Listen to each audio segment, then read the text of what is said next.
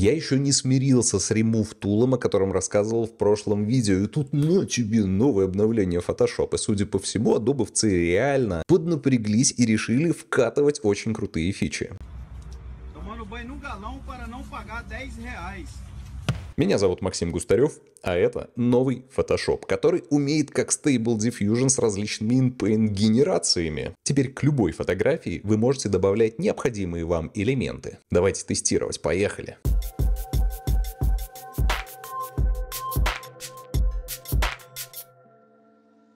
Что подвезли Photoshop? Теперь он умеет хитро с помощью нейронных сетей удалять различные непонятные объекты из вашего кадра и дорисовывать то, что вам нужно. Вам достаточно всего лишь обвести с помощью лассо нужную область, написать текстовый запрос, и вы получите то, что хотели. Плюс эту нейронку можно также использовать для расширения пропорций кадра. Можно взять объект и полностью заменить на сгенерированный компьютером фон, и в этот же фон дополнительно интегрировать нужный вам элемент. Ну и помимо InPaint рисования, различных цветных пресетиков, уже известного нам инструмента Remove Tool, нам наконец-то добавили удобные градиенты. Спасибо вам, Adobe, за это как же я жил без этого раньше. Вся прелесть нового фотошопа в том, что в него добавили фишки Stable Diffusion, а именно InPaint. Теперь, выбрав прямоугольное выделение, вы выделяете любую область на своем изображении, и снизу у вас появляется новая кнопочка Generative Fill. Когда вы нажимаете на нее, у вас появляется окно, в которое вы вписываете свой промпт. Вы можете описать то, что вы хотите видеть в этой выделенной области, либо оставить ее на усмотрение нейронной сети фотошопа.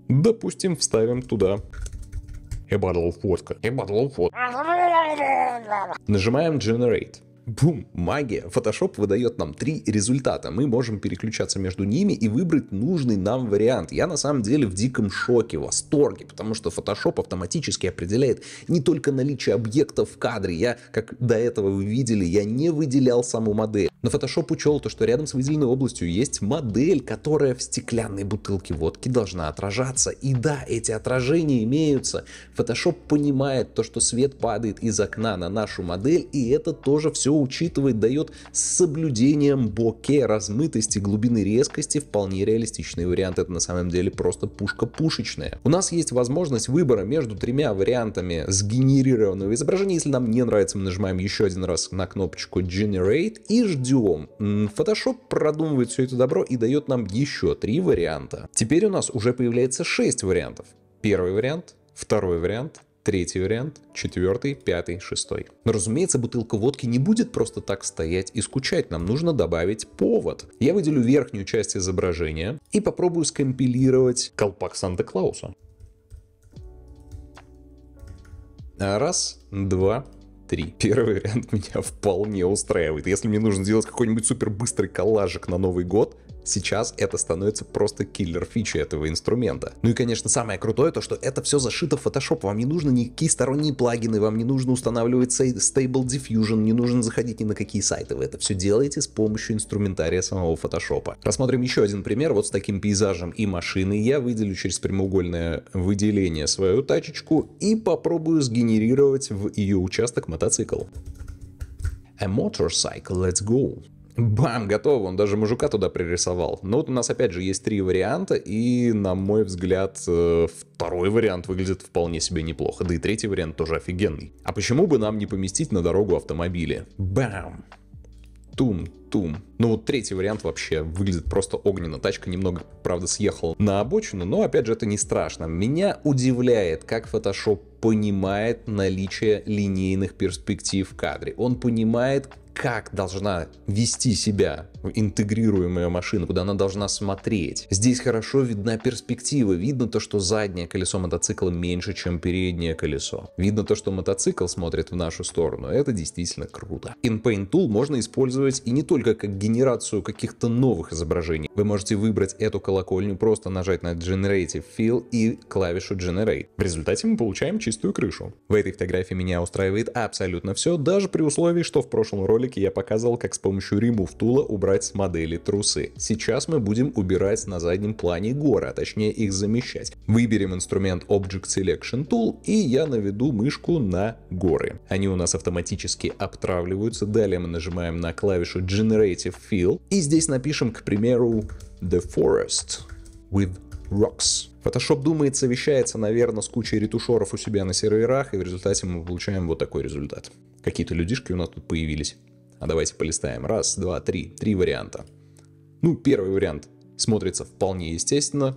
Людишку можно будет потом замазать. И вот так вот, если прокликать до-после, то мы получаем очень хорошо интегрированное изображение. Пушка, браво, Едем дальше. У нас есть такой портретик. К примеру, я хочу расширить верхнюю и нижнюю границы кадра, и мне нужно заполнить с учетом содержимого, так чтобы это выглядело естественно, верхние и нижние пустоты. Я обтравливаю верхнюю пустоту, нажимаю на Generative Fill, Generate. Бум. Раз, два, 3. Вы только посмотрите, как круто Photoshop дотумкал, что должно завершать кадр сверху. То есть он даже вот эти маленькие волосики, торчащие из прически, дорисовал сам. Это очень классно, я считаю.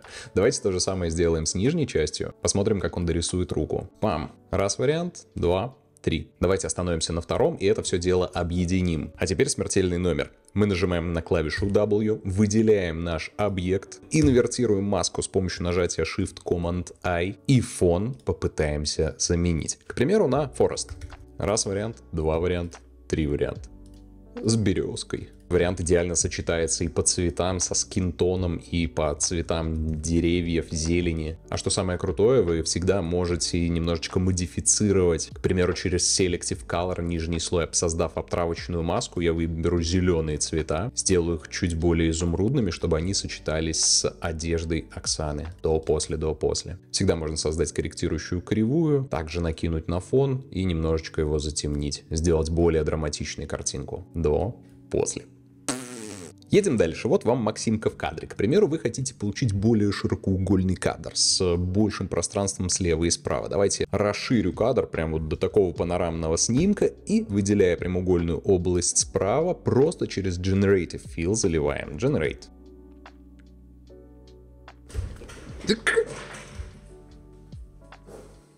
Как он это делает? Он определяет линейную перспективу, он дорисовывает эту линейную перспективу, он понимает, что линии идут сюда, окей. Еще вариант? Еще вариант. Вообще просто. Бля. И то же самое слева.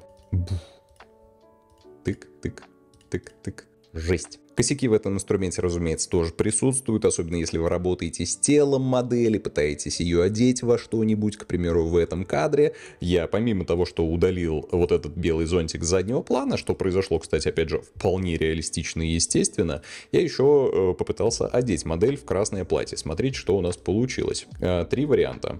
Раз вариант, два вариант, три вариант. М-м-м. В общем, не совсем он это хорошо сделал, поэтому давайте мы так делать не будем. Пускай модель будет раздета. А вот левую и правую часть он, ну, вполне относительно адекватно продлил. Вот Оксанке сигарету вставили.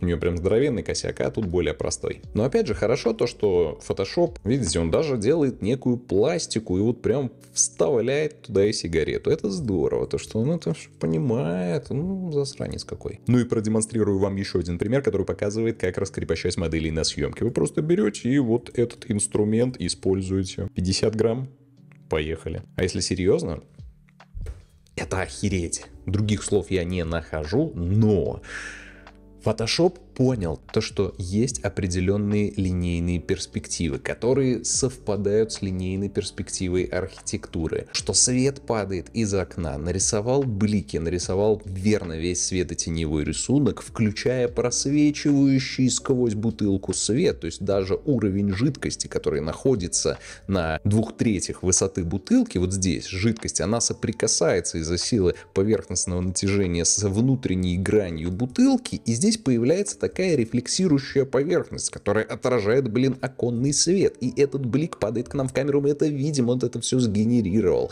Он сгенерировал даже отражение, рефлекс появился на этом подоконнике. Я считаю, это очень-очень круто. А давайте еще в этом кадре глянем, как он расширит пространство слева и справа. Второй вариант вообще идеально наложился. И тут с даже дорисовал, блин, берег.